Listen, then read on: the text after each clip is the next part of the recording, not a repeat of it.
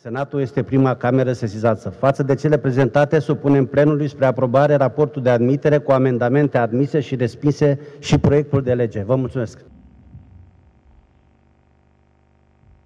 Gorjul este în doliu în urma morții lui Scarla Tiriza. Vestea trecerii sale în neființă într-un spital din București a adus o durere profundă în inimile celor apropiați, care au asistat cu tristețe și neputință la evoluția rapidă a bolii care l-a învins pe fostul parlamentar.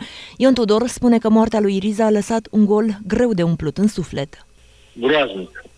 În momentul în care m-a sunat Adrian, uh, sincer, am simțit că a picat cerul Știam că este, că este bolnav, dar uh, nu, nu credeam. Tot, tot speram că încă viața merge înainte, fiind un om puternic. Este pentru mine personal o mare pierdere pentru că Doru, pe lângă faptul că am fost colegi, camarazi la partid, am fost prieteni în viață mai mult decât un prieten a fost pentru mine. Dorul este nașul meu, a fost, acum nu mai este, a rămas doar Nașa, Vali. Sigur că va rămâne un gol imens în sufletele noastre și ne vom aminti mereu de cel care a fost Doru Iriza. Drum bun printre stele, mă opresc aici pentru că Dumnezeu să-l odihnească în pace. Ion Călinoiu, fostul președinte al Consiliului Județean, a declarat că moartea lui Scarla Tiriza este o pierdere imensă. Am fost uh, surprins de ce s-a întâmplat prin uh, trecerea în neființă a fostului coleg deputat și om, în primul rând, Iriza Scarlat. Vorbele sunt uh, de prisos. Îi aducem un omagiu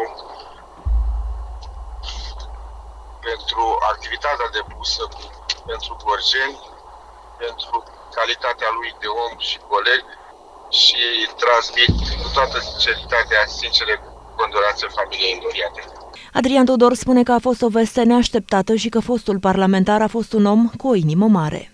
O veste la care nu mă așteptam. Sincer, așa cum îl știam pe, pe Doru Iriza un luptător și întotdeauna omul care a câștigat bătăliile, mă așteptam să câștige și bătălia asta. În primul rând că uh, totul s-a petrecut foarte repede. Eu și domnia sa ne știm din 1996. Iar în primul mandat am fost șeful de cabinet al domniei sale la cabinetul de parlamentar de deputat eram foarte apropiați.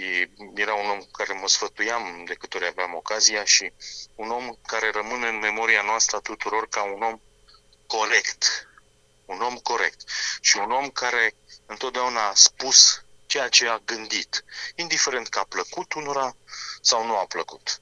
Dar uh, pentru asta trebuie să rămân în amintirea noastră tuturor ca uh, omul care a fost corect cu ceilalți. Din păcate, Mulți l-au dezamăgit și mai ales în ultima perioadă, dar Dumnezeu le așează pe toate. Îmi pare rău familia extraordinară uh, pe care, pe care o avea și uh, îi se datorează uh, reușita copiilor și ei, la rândul lor, la nepoților.